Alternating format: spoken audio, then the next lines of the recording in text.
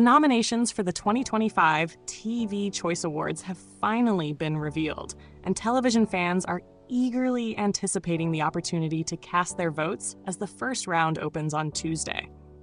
Bridgerton fans, in particular, are excited as the third season, based on Julia Quinn's original books, has been nominated for Best Series.